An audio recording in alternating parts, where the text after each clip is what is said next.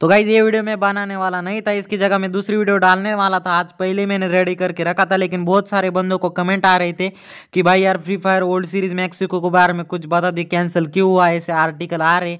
तो गाइज़ इसके ऊपर मैं वीडियो इसलिए बना रहा हूँ, ठीक है, जिससे आपको पता चले क्यों कैंसिल हुआ है, ठीक है गाइज़ तो वीडियो को एंड तक देखना। और हाँ गाइज़ यार, आप सब्सक्राइब नहीं करते यार सब्सक्राइब कर दो यार, ऐसा टच कर दोगे तो सब्सक्राइब हो जाएगा फ्री में होता है। और उसके साथ आपको इन्फॉर्मेशन तो डेली मिलती है ना तो सब्सक्राइब करने में कुछ आपका जाएगा नहीं, आपको पैसा नहीं लगेगा, ठीक है? तो सब्सक्राइब कर दो। तो गाइज़ हमारे इसी साल एक ओल्ड सीरीज़ ऑलरेडी एक हो चुका है, हमारा सिंगापुर वाला।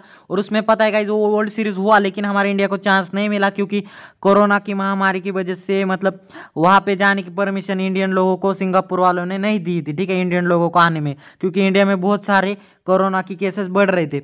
उसके साथ ही जो गाइज़ हमारा अभी मैक्सिको का है, उसमें हमारी स्पोर्ट्स कीड़ा ने अभी सुबह आर्टिकल डाला था, उसमें लिखा था उन्होंने कि कैंसिल हो रहा है हमारा मैक्सिको वर्ल्ड सीरीज़ बिकॉज़ उधर भी हमारे कोरोना की केसेस बहुत सारे बढ़ रहे हैं और कल 24 घंटे में पिछले पच्चीस हज़ार के लगभग केसेस बढ़ चुके हैं। उस वजह से उन्होंने ओल्ड सीरीज़ कैंसिल कर दिया है। लेकिन गाइज़ मैं आपको बता दूँ, हमारी गरेना इतना बड़ा टूर्नामेंट करवा रही है। मतलब ये कैंसिल ज़्यादा चांसेस नहीं है इसके कैंसिल होने के। हालाँकि ये नवंबर में अभी नहीं हो सकता लेकिन गाइज़ इसको आगे पोस्टपोन किया जा सकता है या अगले साल भी उसको किया जा सकता है या ओल्ड सीरीज़ की जगह हमारे कॉन्टिनेंटल सीरीज़ भी करवाई जा सकती है पिछले साल की तरह। मतलब पिछले बार भी हमारे इंडिया में हमारी एशिया कॉन्टिनेंटल सीरीज़ करवाई गई थी।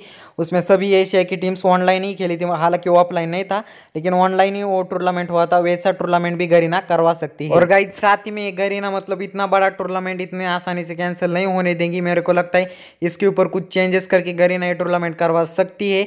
नहीं तो गाइज़ ये किसी दूसरे कंट्री में शिफ्ट करना पड़ेगा, लेकिन गाइज़ दूसरे कंट्री में शिफ्ट करना इतना आसान बात नहीं होती। क्योंकि गाइज़ देखो, पहले से इसकी बहुत पहले से ही तैयारी करके रखनी पड़ती सभी। ट्रांसफ़र होटल सबकी तैयारी पहले से ही करके रखनी पड़ती इस वजह से इतना आसान नहीं होता।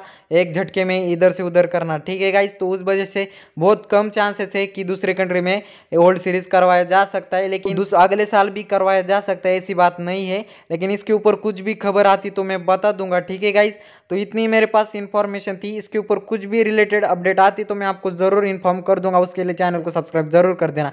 और साथ ही में गाइज़ हमारा एक गिल्ड है, दस लाख ग्लोरी वाला, उसको ज्वाइन कर लेना, मैं आईडी स्क्रीन के ऊपर दिखा रहा हूँ। उसमें हमारी ग्लोरी टेन लाख प्लस है और साथ ही में उधर आप स्क्वाड एंट्री ही ले सकते हो। उसके लिए आपको हमारा टीम ईगल का डिस्कॉर्ड ज्वाइन करना पड़ेगा और उधर हमारे गिल्ड अप्लाई में अप्लाई करना पड़ेगा, तभी आप स्क्वाड एंट्री ले सकते हो। उसके लिए आपको नाम चेंज करना भी बहुत ज़रूरी है, ठीक है गाइज़ तो बाय बाय गाइज़ मिलते हैं नेक्स्ट वीडियो में।